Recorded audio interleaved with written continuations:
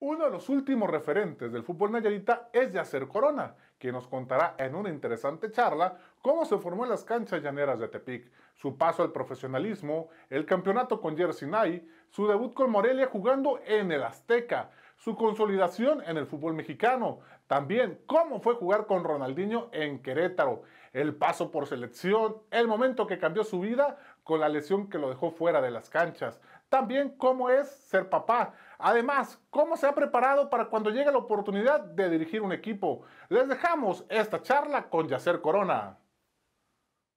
Yacer, pues aquí en Tepic, de nueva cuenta, en tu tierra, pero para que nos platiques de tus inicios, Yacer, en el fútbol, en esta que es tu Tepic, ¿cómo fue que Yacer Corona empezó en el fútbol aquí en Tepic, Nayarit? Uf, pues ya hace un largo tiempo. Eh, empecé eh, pues como todos en esa época, jugando en la calle con los amigos. Eh, tengo una, una, familia deportista, en ese entonces, hoy creo que ninguno hace deporte, pero en ese entonces mi, mi abuelo, el profe Paquín, eh, pues él fue un deportista de toda la vida, mi mamá fue, deportista, fue deportista, mi papá, y me acuerdo perfecto que mi papá era árbitro de básquetbol de la liga de aquí, y él fue el primero que me tiró una pelota, pero de básquet y a mí me dio por patearla y así empecé a jugar, a jugar fútbol.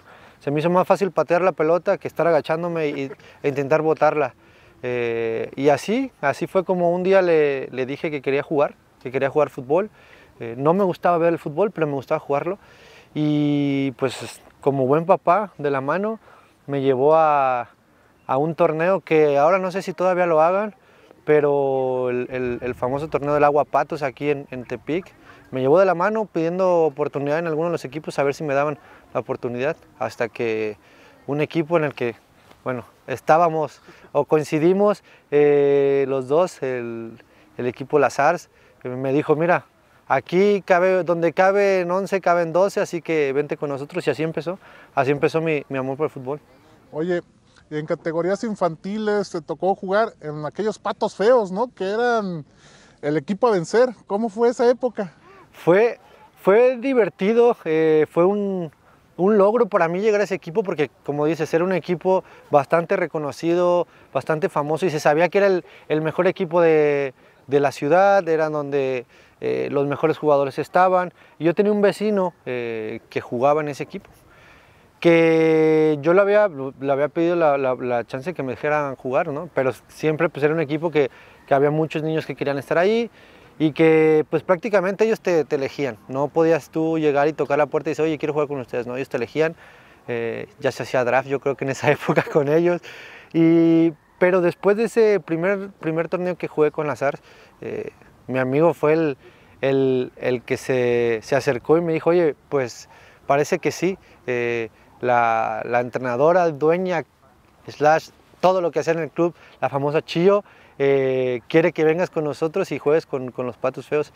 Y para mí fue, un, fue muy emocionante, fue, fui corriendo a decirle a mis papás que los patos feos querían que estuviera con ellos eh, y ahí empezó, ¿no? empecé a jugar con ellos, me fue muy bien, recuerdo eh, que mi primer o segundo torneo eh, ganar el, el, el, el, trofeo mejor jugador de la liga, aún recordamos con risas de mis papás que de la emoción eh, se le olvidó grabarlo, tenía, tenía la cámara todo listo para recibir el premio y cuando dijeron mi nombre se emocionó tanto que se le olvidó y no grabó, pero la verdad es que lo disfruté muchísimo eh, y aún lo recuerdo con mucho cariño, con mucha emoción. Es interesante esto que mencionas, pero a la par del fútbol hay una actividad como el atletismo, porque también sabemos que competiste, que representaste a Nayarit incluso. Sí, sí, me, me llegó de pronto, pues sabes que no sé si aún lo siguen haciendo, pero en las escuelas eh, todos hacíamos eh, deporte, ¿no? Y, y, todas las escuelas tenían su equipo de atletismo, de fútbol. Generalmente eh, me metía a esas competencias para faltar a la escuela, no voy a mentirlo. Era mi manera de, de, de, de, perderme más clases porque pues, el maestro de educación física te llevaba a, entrenar y generalmente en horarios de clase, porque las tardes hacías otras cosas. Y compaginé el fútbol con el atletismo. Sí, y además también, no, lo voy a, no voy a mentir, impulsado por, por, una, por una niña que me gustaba en ese momento, que también iba a atletismo, dije, mira, pues ya estando, voy para allá y empecé a hacer atletismo, empecé a hacer 200 metros y 800. Eh, y tuve la oportunidad de, bueno, de, ser, de ganar aquí el campeonato estatal y después representar a Nayarit en un, en un prenacional en Morelia, Michoacán. Oye, ¿crees que en algún momento el hecho de competir, de hacer atletismo, te haya ayudado para el fútbol? Yo creo que sí, al final eh, el deporte como el atletismo es muy influyente en el, en el tema individual, ¿no? Tienes que ser muy dedicado, muy responsable en cada entrenamiento, en cada día, porque todo depende de ti, no depende de otros 10 compañeros que te pueden ayudar en un mal día o que pueden eh, ocultar tus carencias en función de donde te ponen en el campo. En el atletismo o, lo haces bien y te preparas bien o no vas a rendir, no vas a funcionar. Y de alguna manera me ayudó eso a darme cuenta que también tenía que trabajar por, mi, por mi cuenta para mejorar en lo mío y sobre todo en cuestiones pues quizá de técnica de carrera, técnica en ese momento que obviamente yo no le daba importancia, pero que sabía que si me hacía rápido o si era rápido, al final de cuentas en el campo me, me iba a beneficiar. Yacer, llévanos a ese debut en el profesional, porque imagino que fue Jersey Night, pero en el amateur y después lo profesional. ¿Cómo fue esto? Pues eh, aquí en, dentro de Nayarit, en el, en el, fútbol de tercera división, estaba en aquel entonces el equipo Jersey Night, estaba Jersey, estaban los Coras. Eh, yo jugaba para los Jersey Night, las fuerzas básicas, eh, que tenían una estructura que querían hacerla parecer mucho a lo que era el fútbol de Guadalajara, las Chivas, el Atlas, por esta cercanía, porque eh, el hijo del dueño de Jersey en ese momento jugaba en, Atlas, el hijo de, o uno de los cercanos a los Coras o de su facén jugaba en, en Chivas, entonces había este tipo de estructura que te ayudaba a acercarte más al fútbol profesional. Y en, esa, en ese entonces se necesitaban eh, menores también. Tenías que jugar, no sé si ahora mismo eh, se requiera, pero tenías que jugar con, con, jugadores menores. Y bueno, así fue como llegué de, del fútbol amateur con Jersey Knight al fútbol profesional eh, con el profe Manolo Naya, que hoy es entrenador de Coras. Fue el que me da la oportunidad de, de entrenar con el, con el primer equipo de aquí, la tercera división y jugaba, bueno, yo jugaba de delantero y de, y de, y de interior, se ríe el profe Naya también recordando eso, ¿no? que yo era más ofensivo que defensivo, después mi carrera terminó siendo central, pero bueno, siempre dicen que entre más viejo te haces y más lento te van echando más para atrás. Eso es, es interesante esto que mencionas. ¿Recuerdas aquel campeonato con Jersey Knight de la mano del profe Chato González? Sí, sí, sí, lo recuerdo perfecto. Eh, era un, un, equipo bastante unido, la verdad es que me divertía muchísimo. Eh, me, río todavía de acordarme de aquellos momentos porque tenía compañeros muy divertidos, nos pasamos muy bien, era un gran grupo. En su mayoría éramos jugadores de, del estado, pero teníamos eh, algunos jugadores de otros lados, como el Calemo, que hoy vive por aquí también, creo, eh, gran jugador. Y teníamos un muy buen equipo, Raúl Mercados que venía, que venía de Atlas, teníamos jugadores que, que teníamos... Eh, ganas de crecer dentro del fútbol nacional, no solamente del, fútbol local, ganas de trascender. Eh, y se hizo una muy buena generación y además que el Chato pues era un entrenador que conocía el fútbol local, conocía la tercera división, nos ayudó muchísimo. La verdad es que me divertí muchísimo, nos fue muy bien y por un par de años Jersey Knight se convirtió el equipo a vencer en, en, todo el país en esa, en esa división. Es interesante esto que mencionas, ¿no? Goleaban, donde se paraban y todo este tipo de... Y me imagino que eso fue lo que llamó la atención de equipos de primera división también, ¿no? Sí, sí, fue... Aunque fue mi manera de, de pasar de, de, de, Jersey Knight a, a un club de, primera división, eh, fue pues aquí, en la Santa Teresita, en un, un día que yo iba a la escuela, eh, en la radio, escuché que venía Monarcas Morelia a hacer unas pruebas y pues yo llevaba mis cosas porque de pronto me quedaba cascalera en la escuela, eh, en, en, en, el receso. Eh, llamé a mis padres, les dije, no, mi papá era, era, era, maestro en esa escuela, le dije, oye, quiero ir a hacer una prueba eh, porque viene Morelia. Me dijo, va, vete. Y fue así como, como paso, eh, hago la prueba aquí, me va muy bien. Después llego a Morelia y en Morelia con el hoy entrenador de, de, los Pumas, Andrés Ligini, que era el director de Fuerzas Básicas. Eh, recuerdo perfectamente que él fue el que nos aceptó en Morelia después de, de tres días de prueba. Eh, fue que me, que me dijo y me mencionó de que había jugado en Jersey Knight, que nos tenían ya, ya pues seguido. Eh, me mencionó un par de, de, compañeros también que después tuvieron la oportunidad de estar ahí en Morelia. Y así fue como, como empezó, digamos que, a trazarse mi, mi carrera para el fútbol profesional. ¿Recuerdas tu debut en el Estadio Azteca? Sí, sí, sí, lo recuerdo porque creo que de, los había cuatro o cinco partidos previos al América que había salido yo a la banca. Eh, y de todos esos partidos en el que menos creí que iba a debutar iba a ser en el Azteca y contra el América, porque la situación del equipo era necesitábamos ganar para poder eh, calificar a liguilla en el Estadio Azteca, eh, con un América plagado de estrellas. Estaba Cuauhtémoc, estaba el Piojo, estaba Bozo, estaba, creo que estaba el Pipino también, y, para mí era, era imposible poder entrar en ese partido. y recuerdo perfectamente el fantasma figuraba gritándome, Yacer, y yo voltearlo a ver y decir, no, a mí, no me está hablando. Me hice como que no lo escuché hasta que volvió a gritar y Junior Madrigal, creo que estaba en la banca, el, portero suplente, me dijo, vas, te hablan. Y de la, de la emoción, del ansia, empecé a hacer eh, velocidad en ese entonces hasta que llegó el preparador físico y me dijo, no, no, tranquilo, tranquilo, cálmate. Y ahí fue donde, donde, donde debuté, un 12 de noviembre. ¿Cómo te sentiste, Yacer, en el mítico estadio? No lo podía creer, ¿eh?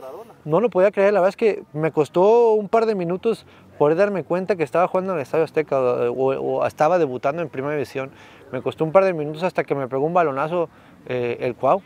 y como que ahí fue que desperté y dije, ah caray, ya estoy dentro. Entonces, eh, fue, la verdad es que fue muy emocionante, fue muy emotivo para mí salir.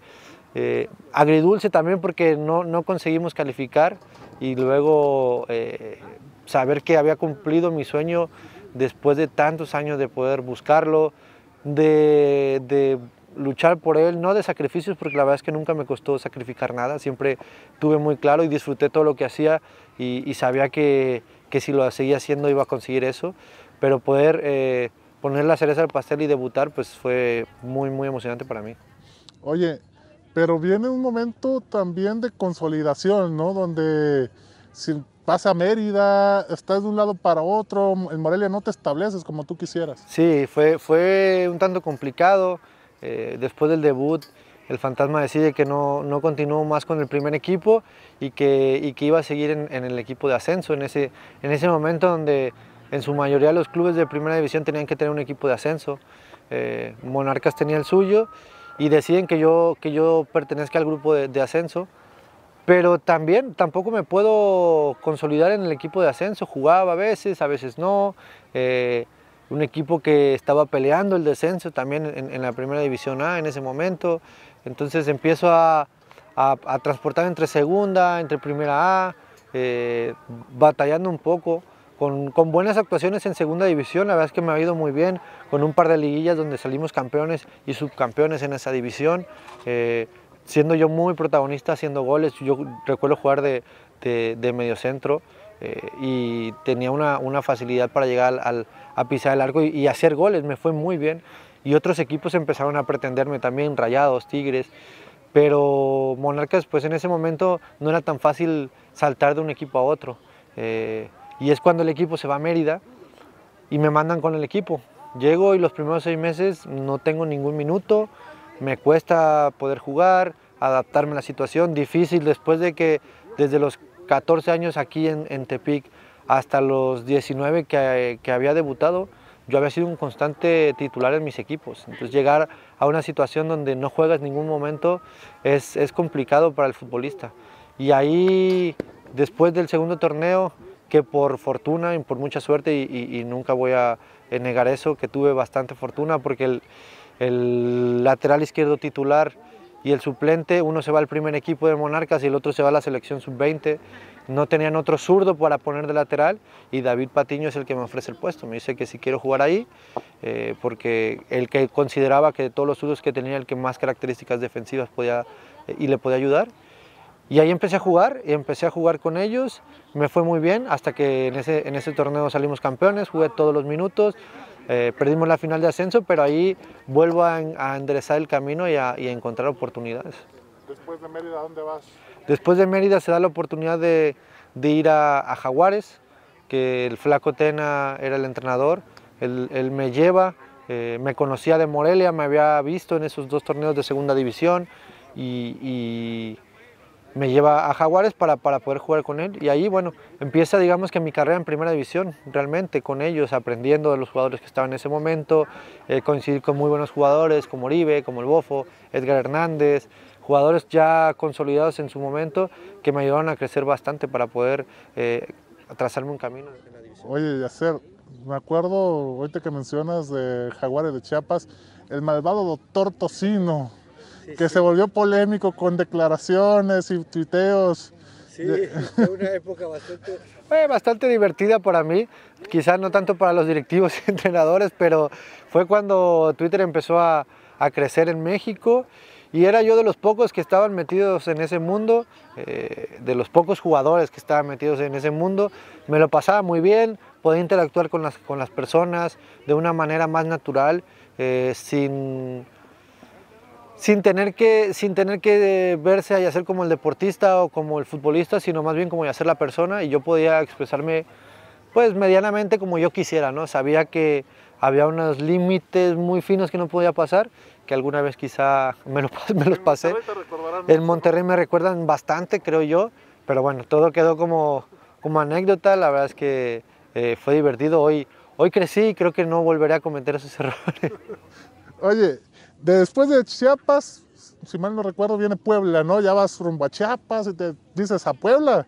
¿Cómo fue? ¿Cómo fue? Estaba, estaba eh, en camino. Bueno, de hecho, cuando, cuando voy a Chiapas, Igualmente me agarra, yo me fui desde aquí de Tepic en coche hasta, hasta Mérida. Y en ese inter, en la mitad del, trayecto, me dijeron, tienes que venir a Cancún porque estás en Jaguares y Jaguares ya está haciendo pretemporada. Y dije, bueno, ya me queda de pasada. Sí, ya me queda pasada, ahora espérenme a que llegue hasta allá. Eh, y después en un, en un viaje eh, me entero, vi a Twitter que ya no pertenecía más a Jaguares y que pasaba a ser eh, de otro equipo. Entonces, bueno, son las, las cosas de, que tiene la modernidad que iba empezando, eh, también la poca comunicación que podía tener desde, desde Barcelona hasta, hasta México. Hoy, hoy es mucho más fácil poder contactar con uno, pero en ese momento era, era más difícil, ¿no? El hacer una llamada por celular te costaba una barbaridad. Por más que fueras futbolista y ganaras bien, sabías que ese dinero no te lo podías gastar ahí. Entonces eh, me entero por Twitter que pasaba de un club a otro y llego a Puebla, a Puebla de los Chelis Boy un Puebla que empieza a levantar, se empieza a ser protagonista. ¿Cómo fue jugar en Puebla? Fue, fue bonito, la ciudad me encantó, la gente me trató muy bien. Eh, hice una, una amistad con, jugadores que hasta el día de hoy la conservo, como más allá de compañeros de profesión. Eh, me encontré en un lugar donde había jugadores jóvenes que compartíamos muchas cosas en común y eso me ayudó a estar muy bien allí. La verdad es que fue un año, un año de consolidación de poder eh, seguir en primera división. El primer año de Chiapas había sido de, crecimiento, de enseñanza y creo que en ese año en, Puebla el Chelis me da el protagonismo para poder consolidarme y ser ya llamado un jugador de, de primera división. Después de eso, consolidarte en primera, vienen los gallos, esos gallos que revolucionaron el fútbol de la mano de Ronaldinho, que ganaron en el Azteca, que llegaron a una final. ¿Cómo fue todo esto? Fueron tres años de subes y bajas en, Querétaro, desde pasar a no tener un dueño, de no cobrar durante seis meses por problemas administrativos con, con el anterior dueño, a compartir cancha con uno de los quizá mejores jugadores de toda la historia del fútbol, ¿no? Ronaldinho, eh, jugar una final, mi primera final en primera división, eh, vivir cosas increíbles en ese equipo. Eh, mi hijo nació en Querétaro. Para mí los tres años, tres años y medio que viví en Querétaro fueron llenos de emociones, de, aprendizajes y de poder encontrarme futbolísticamente hablando en, mi máximo, máximo nivel, de la mano de, Nacho Ambriz. Aprendí muchísimas cosas. fue el técnico y es el técnico a día de hoy, él lo sabe que, más, eh, con el que más pude disfrutar dentro del campo, eh, su manera de ver el fútbol, su manera de, plasmarlo y de transmitirlo me ayudó mucho a mí para poder crecer y a día de hoy estoy muy agradecido porque él es el que me centra, digamos, en el fútbol para poder encontrar mi camino y poder llegar a, hasta selección nacional. Oye, ¿y cómo fue jugar con Ronaldinho? Fue, fue un poco como un sueño. O sea, el día que nos dicen que, Ronaldinho llegaba, es que no lo primero no lo creíamos ninguno y después eh, todos nos decíamos, bueno, ¿y de qué vamos a hablar con él? O sea, viene de jugar con los más grandes, viene de vivir en las mejores ciudades, viene de tener, entonces, ¿qué, le voy a contar yo? Que vengo de, ¿qué le voy a decir? Que, qué? Y, así fue, ¿no? Pensábamos que nos íbamos a encontrar con, con un monstruo y la verdad es que nos encontramos con una persona, eh, con un ser humano increíble, muy divertido, que desde el primer día fue eh, un compañero más y nos hizo sentir a nosotros de una manera muy importante, nos hizo crecer como futbolistas también, porque eh, está claro que jugar con Ronaldinho nadie quiere hacer quedar mal a Ronaldinho. Eh, sabíamos de toda la historia que traía con trofeo, sabíamos que equipo al que llegaba, equipo que peleaba por un campeonato y equipo que ganaba una copa. Entonces, para nosotros también fue como ese boost de energía de decir, tenemos a Ronaldinho y con Ronaldinho eh, con nosotros todo lo podemos y, casi que fue así. Casi fue así, ¿no? Casi ganan la liga contra Santos en un partido muy peculiar, una final muy peculiar, pierden 5-0 y estuvieron a punto de emparejar esa serie, ¿no? Sí, fue, fue una final, como dices, muy peculiar. De entrada, perder la, la final de ida 5-0 es que no sé cuántas veces han visto eso en el, fútbol mundial, no solamente en México, en el fútbol mundial, perder 5-0 eh, fue un shock para todos, pero también es verdad que el partido de vuelta, todos en ningún momento dudamos de que no podíamos alcanzar eh, ese marcador, sabíamos lo difícil que era, pero la gente estaba muy metida con nosotros, eh, de hecho se termina el partido con este 5-3 y el estadio se caía sea, nosotros nos quedamos en el campo más tiempo que Santos, que era el campeón, imagínate. O sea, el equipo dio la vuelta olímpica como si hubiéramos ganado, la gente nos aplaudía, eh, los jugadores eh, contentos con su medalla. Eh, creo que es de esos partidos en el que no pierdes un primer lugar, sino ganas un segundo lugar, ¿no? Y para un equipo como Querétaro, eh, era un, en un resultado histórico, era estar en la primer final y era acercarlos un poco a lo que tanto merecía la gente, que, que bueno, después eventualmente pudieron ganar la copa ese equipo. Oye, estar en Querétaro, como bien lo mencionas, es tu consolidación y el paso a selección nacional. Te toca llegar de la mano de Miguel Herrera al equipo nacional. ¿Cómo fue esto para ti? Fue, fue otra vez, me había agarrado a mí en, en España, en Barcelona. Eh, bueno, mi mujer es de allí, por eso también es que, que estaba, estaba en Barcelona. Eh, y igualmente por Twitter, tengo una relación muy cercana con Twitter, como se pueden dar cuenta. Eh, empiezan a sonar pues estos rumores que va saltando la prensa de que suenan nuevos nombres para la selección. En ese momento había, se juntaba la Copa Oro y la Copa América, que también tenía invitación México. Se hablaba de que iban a ir dos selecciones, de cómo iban a ser las selecciones y que bueno, por, al necesitarse la selección, dos, dos, selecciones, pues iba a haber mucho mayor cantidad de jugadores. Y, empezaron a sonar mi nombre, ¿no? Y, empecé a leer mi nombre y, la verdad es que yo nunca creí que, que fuera a ser convocado. Eh, y no porque no lo mereciera, sino porque uno a veces no, no se ve capaz de, de, estar en ciertos lugares o cree que hay ciertos lugares en los que no merece estar. Y, y yo era un, uno de esos, ¿no? Y, y, creía que, que si bien había hecho un buen torneo, no quería emocionarme, no quería volverme loco y hasta que no fuera nada oficial no lo iba a creer. Pero empecé a leerlo hasta que el momento llegó en que llegué a casa de, de mi suegra y, y fue donde recibí la noticia. Eh, me llaman de Ciudad de México para decirme que estaba, que estaba convocado para la selección. Pero que no solamente estaba convocado para la selección, sino que estaba convocado para la selección eh, A, por así decirlo, ¿no? Eh, por la selección importante, donde venían todos los europeos, donde venían los mejores jugadores de México y que íbamos a la Copa Oro. Y para mí fue pues una noche de lágrimas, de buscar un vuelo inmediatamente para regresar y buscar eh, estar lo más pronto posible en México. Fue, un, fue una noche bastante movida para mí en Barcelona y bastante emocionante poder eh, cumplir ese sueño eh, de decirle a mis papás el primer día, yo quiero estar allí, donde direccionando la, la, la, televisión, decirles yo quiero jugar ahí y quiero en algún día estar pateando la pelota en la televisión. Aunque sé que solamente uno de mil llega, pues yo quiero ser ese uno de esos mil y fue completar y fue cumplir un sueño para mí, para mi familia, porque al final te acompañan y siempre me acompañaron y saber que, que todo lo que había eh, hecho pues estaba rindiendo.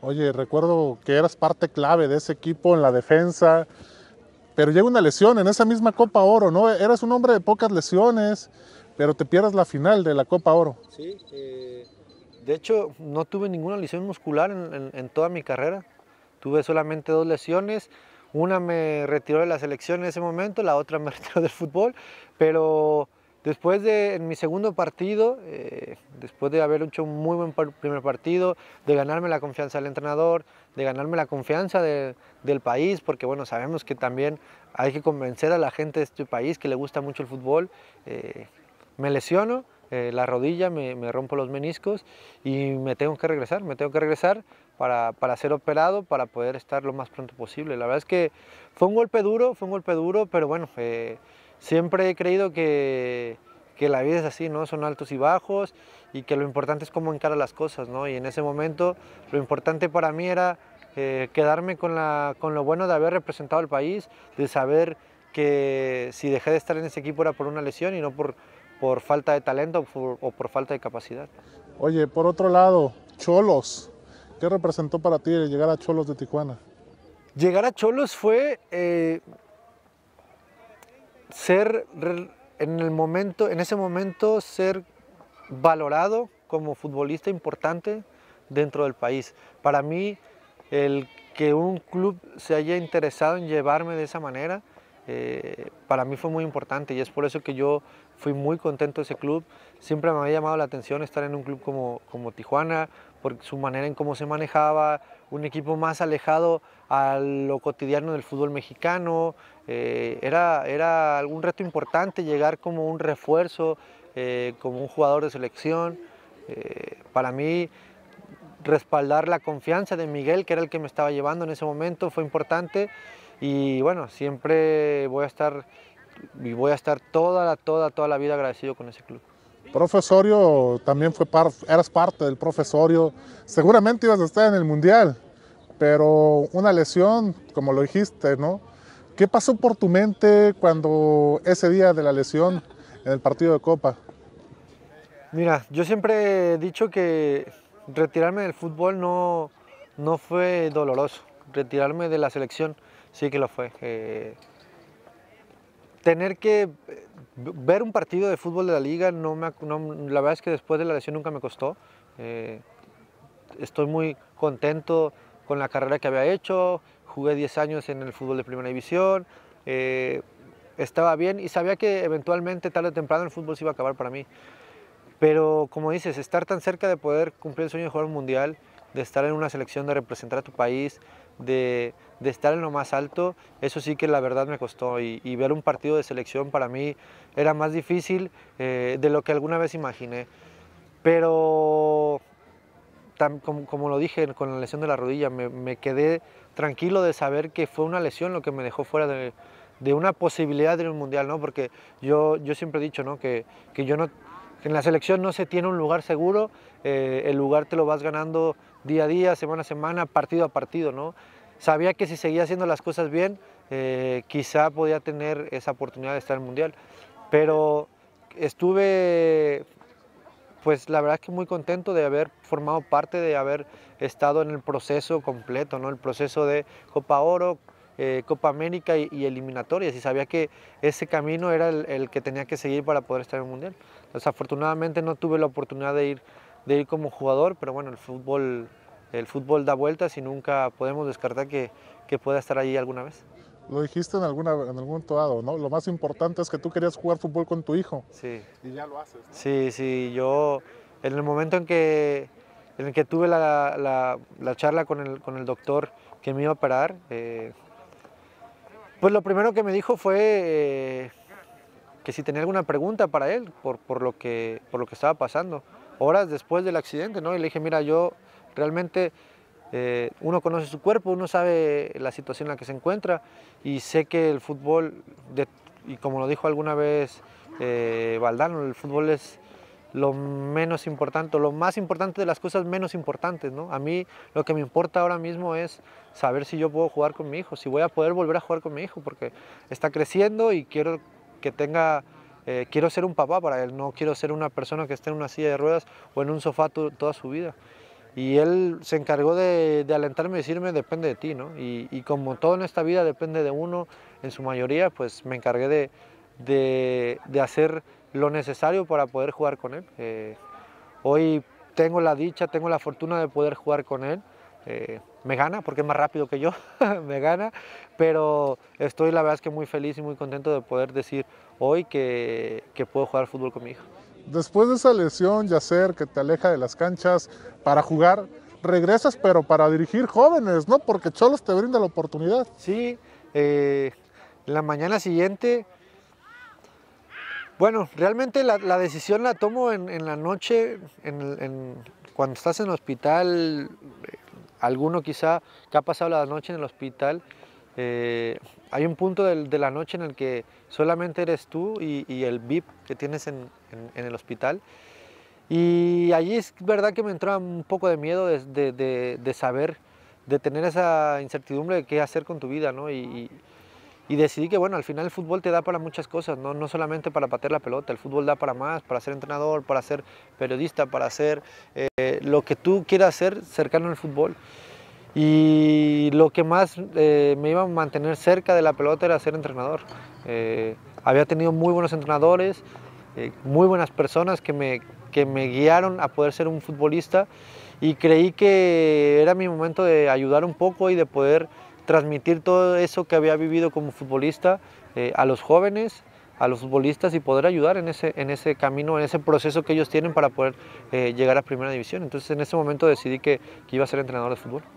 ¿Cómo fue esa primera etapa con Cholos? Fue, eh, no fue fácil, no fue fácil, porque al final transmitir lo que tienes en la cabeza a, a niños, a jóvenes, no es tan fácil. requiere mucha preparación. Me di cuenta que que el ser futbolista no es suficiente para ser entrenador. Necesitas muchas cosas, estás tratando con personas, estás tratando con niños, estás tratando con jóvenes que su ilusión es llegar a, lo más alto y tú eres encargado de poder ayudar a ellos a que lleguen ahí. Eh, tú eres el que vas a conseguir que ellos sigan queriendo el fútbol o puedes terminar carreras. Entonces hay que prepararse, hay que estar, eh, hay que saber de lo que estás hablando, hay que saber lo que estás haciendo para poder transmitirlo y que los chicos lleguen muy bien preparados al fútbol profesional y, también a la vida, ¿no? Es verdad que eh, eh, pasas mucho tiempo con ellos y dentro de todo lo que puedas ayudarlos hay que estar listos para poder brindarles esa mano y que puedan crecer como personas y como futbolistas. Oye, te fuiste a preparar a Europa. ¿Qué tal la preparación allá en Europa? Bien, bien. Es, bueno, al final estar en la meca del fútbol mundial, como es Barcelona, eh, ciudad y como Barcelona Club, pues te, te, da para mirar el fútbol de otra manera, para ver eh, todo lo que hay aquí, para poder comparar. Y la verdad es que estoy muy contento de lo que pude aprender allí, de lo que sigo aprendiendo no es suficiente, como te digo, es una constante preparación, el fútbol constantemente está evolucionando, está cambiando y bueno, eh, estoy contento de lo que, de lo que pude aprender allí, eh, ves todo de primera mano, ves todo eh, al momento, las, mejores metodologías, lo primero y que obviamente hay que adaptarlo a, la cultura del fútbol mexicano, a la, cultura del latino, para poder sacar el jugo a los, los futbolistas y ayudarlos a, hacer, a rendir dentro del campo.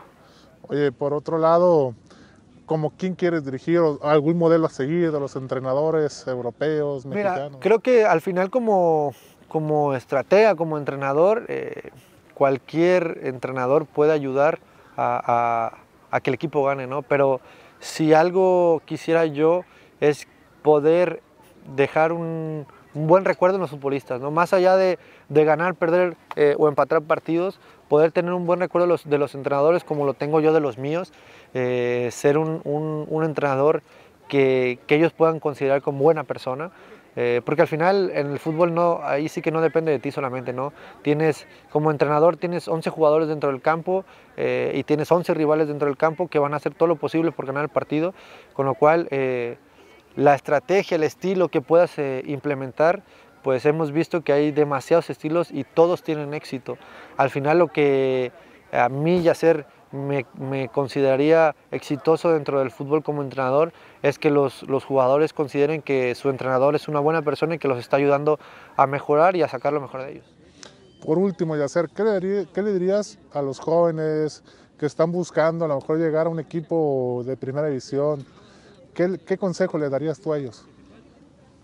Uf, eh, es, es, es, difícil porque cada persona, cada, cada, cada niño, cada niña eh, vive su, su, su, realidad, ¿no? Pero creo que lo que podría decirles es que tienen que tener muchas ganas de cumplir su sueño, realmente saber que, que si su sueño es ser futbolistas, eh, hay muchas cosas que tienen que hacer, ¿no? No solamente es salir al campo y jugar, eh, esa es la principal, salir y disfrutar, pero hay muchas otras cosas, hay que ser muy responsables, hay que ser eh, dentro de la medida a, a, cierta edad, a cierta edad, ¿no? Después de los 15, 16, comenzar a ser jugadores muy profesionales, que, se, que los lleve por un buen camino, ¿no? La verdad es que antes de los 15, 16 yo les diría que lo disfruten, que aprovechen al máximo estar dentro del campo porque lo que más te deja el fútbol son las amistades, poder seguir relacionándote con todos ellos.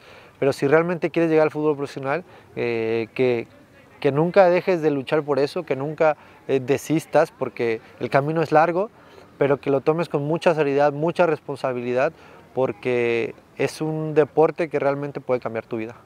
Muchas gracias, Yasser. Hombre, al contrario, aquí estamos cuando necesiten.